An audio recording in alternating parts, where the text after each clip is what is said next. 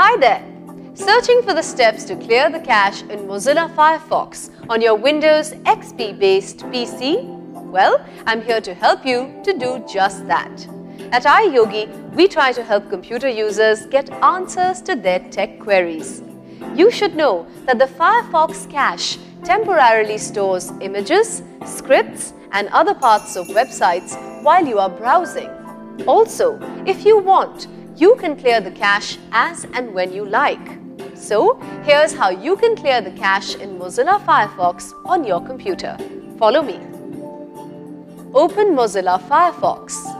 At the top of the Firefox window, click on the Tools menu and then click Options. Select the Advanced panel. Click on the Network tab. In the Offline Storage section, click Clear Now and then click OK.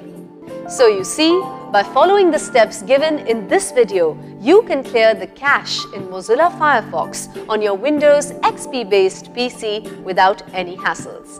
Don't you just love technology? At iYogi, we're on standby to help you get more out of your PC, along with its related software and programs.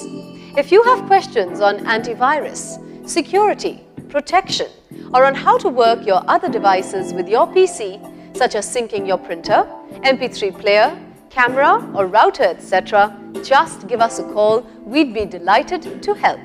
Go ahead, have fun with your PC. Good karma.